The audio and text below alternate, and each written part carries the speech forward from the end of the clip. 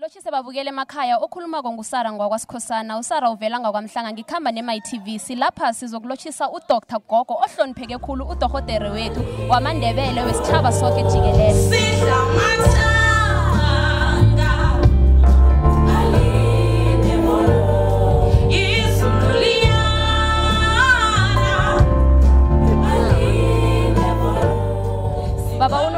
unobunga sizobona nithengele udoktar niphe udoktar into esisipho esikulu imali isipho esingangemali. Sithanda ukubuza bonyana ubaba bamuphe imali engangani and bebathanda bonyana enzeni ngesipho lesi ababaphe sona.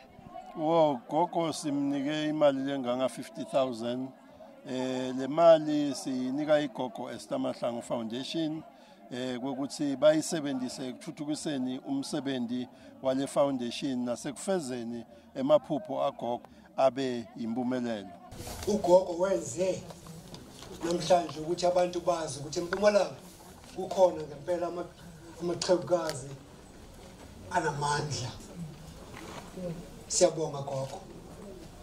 Ukuthi futhi namhlanje ngiyagcina ukukubiza gogo udoctor okukhulu ke MEC uzela nendlela ubona inext endleleni ekuletha ukuthi uza njani la angazi ngikhuluma kuhle na? Warren sign. Akunenex nengangena kuma-ofisini wenu ngikhulu nengikhulu ezi- e- eziphethe thina.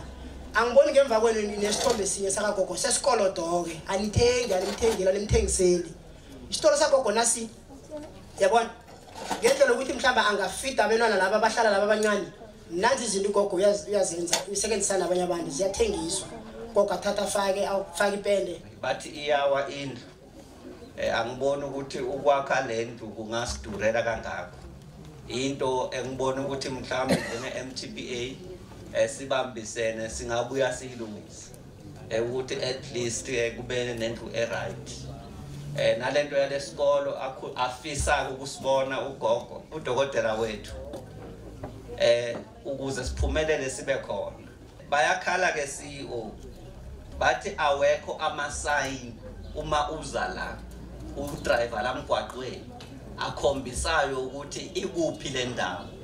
I'm sure ke CEO it's a matter which you can take up ne-public works eh, road and transport nomasipala ukuthi siyifaka kanjani le signage so that abantu babone. Nami ngibone sesifikile.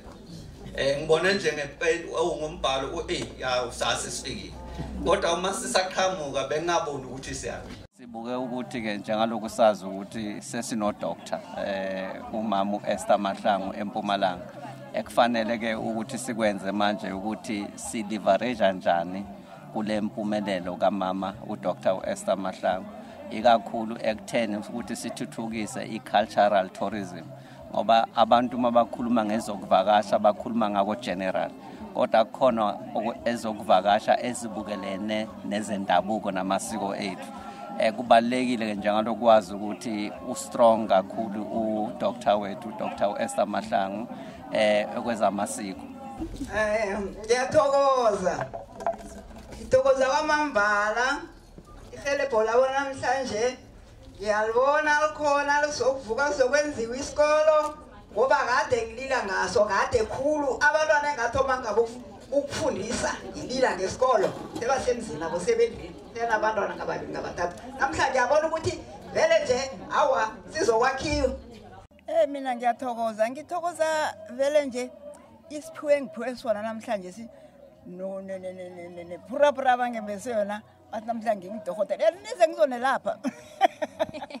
Akakho sokuze uzosilapha ngokwendabuko namasiko siyathokoza ukukhuluma nogogo babukele emakhaya besikhuluma nogogo udohotere u-esther mahlangu endaweni yakwakhe lapha abamthembise khona bonyana uzokuvula isikolo. Thokoza kwamambala nabakhuphe um into eniyibonako le.